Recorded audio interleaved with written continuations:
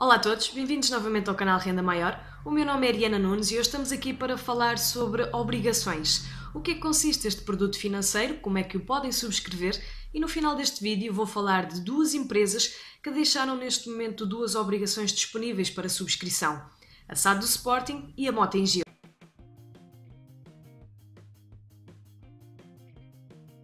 Antes de mais, queria aproveitar e queria agradecer a todos pelo facto de estarem a subscrever o canal. Estamos perto dos mil subscritores e eu tenho muito a agradecer a todos, um por um, pelo facto de estarem aqui e estarem neste momento a fazer o canal Renda Maior um canal maior no YouTube. Muito obrigada pela vossa atenção, pelos vossos likes e pelos vossos comentários. Neste momento vamos falar então de obrigações. O que é que consiste as obrigações?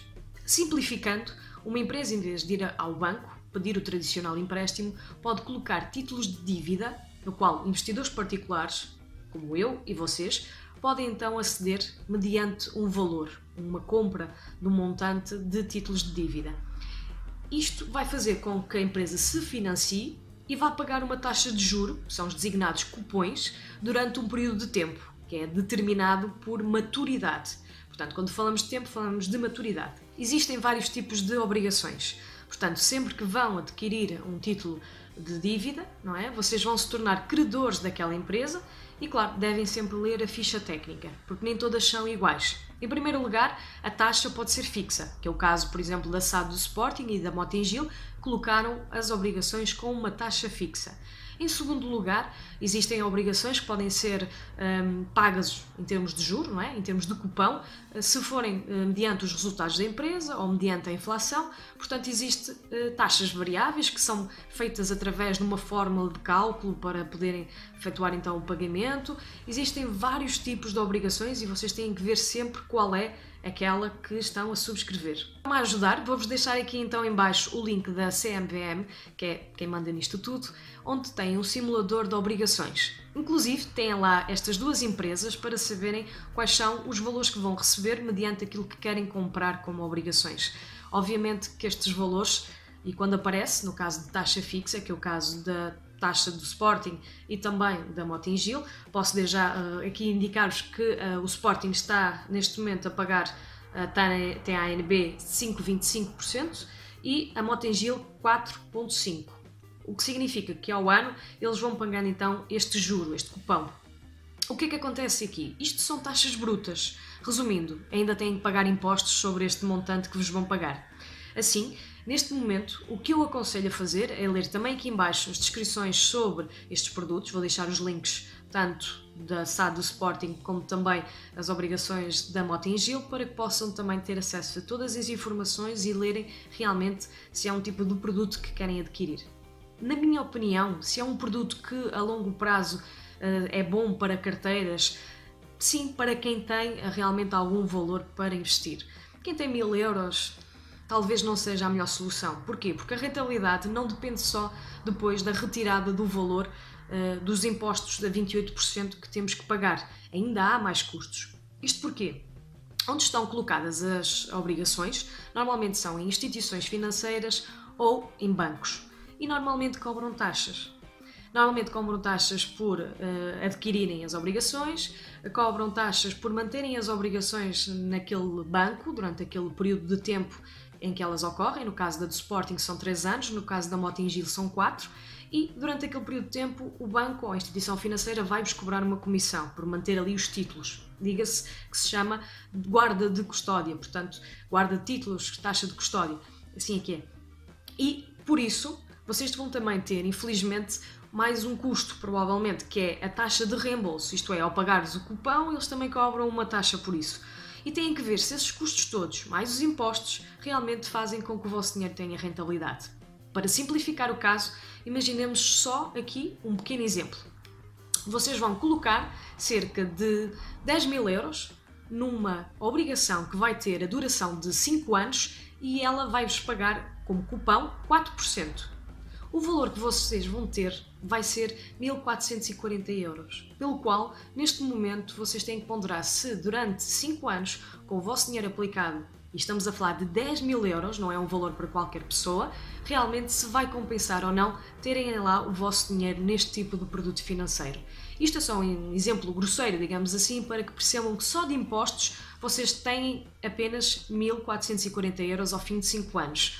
Atenção que ainda têm mais os custos de colocarem este tipo de títulos num banco e terem ali os títulos guardados durante aquele período e a comissão que vos cobram por pagar os juros, o cupão. Portanto, têm que fazer as contas isto tudo para poder ver se este tipo de investimento é bom ou não para vocês. Obviamente, o que eu posso fazer é deixar aqui o máximo de informações, como sabem, então o link da CRVM para fazer a simulação, que é o melhor a fazer.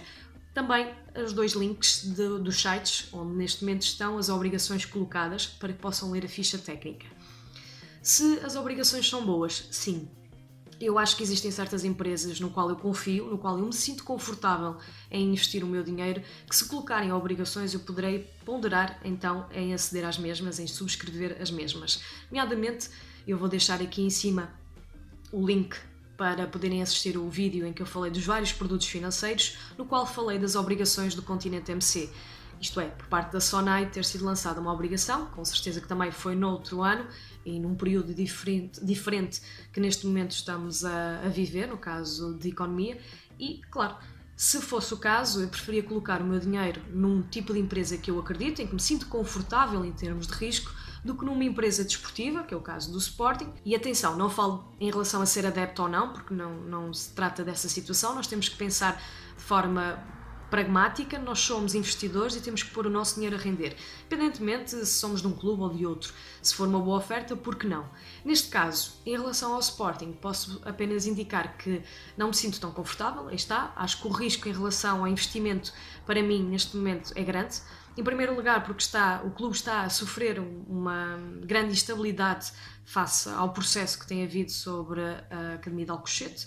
Como todos sabem, infelizmente para Portugal houve um ataque aos jogadores e ao treinador, onde foram agredidos, e está tudo em processo e em tribunal, digamos assim.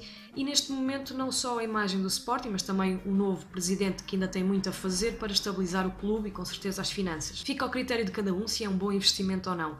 No caso da Motingil, eu tenho também a informar que a Motingil também teve situações muito difíceis, nomeadamente com a crise, com a situação que se passou em Angola, e eh, temos também ponderar que, apesar de tudo, é uma área muito sujeita a crises eles agora estão a entrar no mercado sul-americano e espero realmente que tenham muito sucesso. Isso vai fazer com que haja uh, mais dinheiro, mais negócio e que as uh, contas possam ficar equilibradas. E espero que sim, para a Montingil e para Portugal, como uma empresa portuguesa. Mas neste caso, especificamente, a área da construção civil e da engenharia também é uma área que não me deixa confortável em investir. Portanto, têm que realmente ponderar se querem ou não, também, nomeadamente neste tipo de negócio. Quais são os riscos que nós podemos ter no caso das obrigações? Nós podemos ter, em primeiro lugar, que a empresa vá adiar o pagamento do cupão, que infelizmente foi o que aconteceu com a SAD Sporting nas últimas obrigações que lançaram. Eles estão a adiar o pagamento do último cupão de, de obrigações e isso realmente é mau para o investidor porque está à espera daquele pagamento e o mesmo não vai acontecer na data programada. E em segundo lugar, e talvez a pior situação, é a falência da empresa. Obviamente, se a empresa falir, não vai ser possível fazer qualquer tipo de pagamento e nós, como credores, não temos prioridade.